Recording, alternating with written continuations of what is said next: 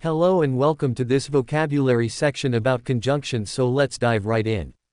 Don't forget to like, share and subscribe to this channel and also don't forget to buy the best merch from my store from which I put a link in the description of every section and don't forget that the main objective of this channel is to provide the best information about all things related to English grammar to you.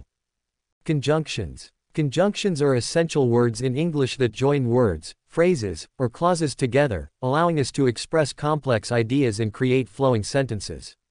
In this tutorial, we'll explore various conjunctions, their significance, and provide example sentences to help you use them effectively. 1. Coordinating conjunctions joining equals. And, connects words, phrases, or clauses to show addition. Example sentence, I want tea and coffee. But, Connects contrasting elements to indicate opposition. Example sentence, she loves to swim but dislikes cold water. Or, presents alternatives or choices. Example sentence, do you want pizza or pasta for dinner?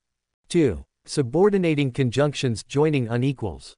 Although, introduces a contrast or unexpected result. Example sentence, although it rained, we enjoyed the picnic. Because, explains the reason or cause for an action. Example sentence, she stayed indoors because it was raining. If, introduces a condition or possibility. Example sentence, if you study hard, you'll pass the exam.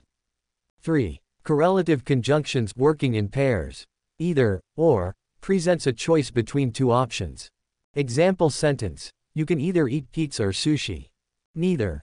Dot nor, expresses a negative choice between two options.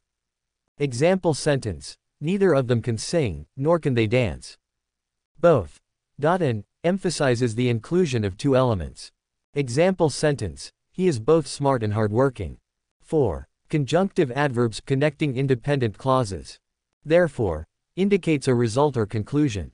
Example sentence, she studied hard, therefore, she aced the test. However, shows contrast or contradiction. Example sentence, I love pizza, however, I'm on a diet. Furthermore, adds information or support to a statement. Example sentence, she's an excellent writer, furthermore, she's a skilled editor. 5. Transitional conjunctions sequencing ideas. First, indicates the initial step or idea in a sequence. Example sentence, first, you need to mix the ingredients. Next, introduces the following step or idea. Example sentence, Next, bake the cake at 350 degrees. Finally, signals the last step or concluding idea. Example sentence, finally, decorate the cake with icing. 6. Emphasizing conjunctions. Indeed, adds emphasis to a statement. Example sentence, it was, indeed, a remarkable achievement. Certainly, indicates a strong affirmation. Example sentence, you can certainly rely on her. Undoubtedly, confirms a fact without question. Example sentence, it is undoubtedly the best movie of the year.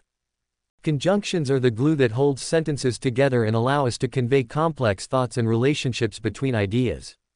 These words and example sentences should help you understand and use conjunctions effectively in various contexts to create clear and cohesive writing and speech.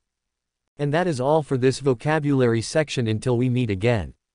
Don't forget to support this channel by like, Share and subscribe and also to buy the best merch on my store in which I give a link in the description below. This is English Grammar Audio Tutorial signing off.